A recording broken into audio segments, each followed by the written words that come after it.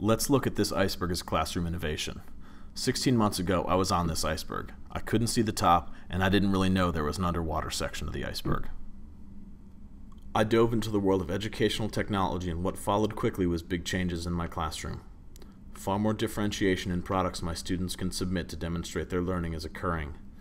I'm running a self paced, mastery based flipped history classroom. Very few history teachers are doing this. I'm collaborating with teachers from California, North Carolina, and New Jersey on a Common Core project based on our students' interests. I'm publishing student work for an audience of peers, parents, and other teachers.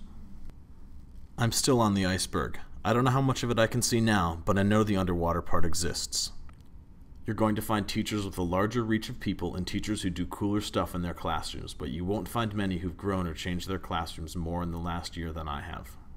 I'm looking forward to using the Google Teacher Academy to get an even fuller picture of the iceberg.